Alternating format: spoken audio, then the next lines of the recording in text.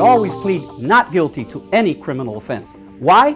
Because you are presumed innocent until every element of the offense is proven against you. What happens if you plead guilty? Well, you'll be sentenced on the spot. You don't want that. You want to investigate your case, you want to invoke discovery, you want to file motions to exclude evidence improperly obtained against you, and you want to win your case, even if it means going to trial. Hire an attorney today.